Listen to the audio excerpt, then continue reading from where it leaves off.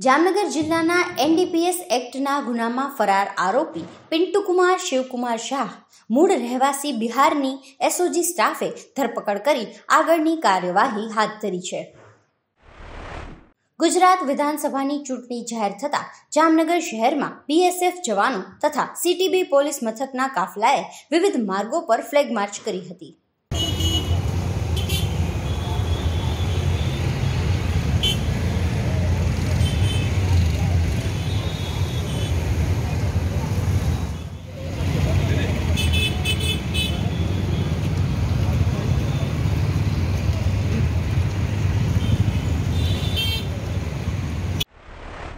ગુજરાત વિધાનસભાની ચૂંટણીમાં આમ આદમી પાર્ટીએ પણ પૂરા જોશથી ઝુકાવ્યું છે. આપ દ્વારા જનતા પાસેથી પક્ષમાંથી કયા નેતાને મુખ્યમંત્રીનો ચહેરો બનાવવો તે અંગે અભિપ્રાય માંગવામાં આવ્યા હતા. આ અભિપ્રાયો આવ્યા પછી અને પક્ષના નેતાઓ સાથે મસલત કર્યા પછી પક્ષના રાષ્ટ્રીય સંયોજક કેજરીવાલે ઈસુદાન ગઢવીની સીએમના ચહેરા તરીકે પસંદગી કરી હોવાની સત્તાવાર જાહેરાત કરી હતી.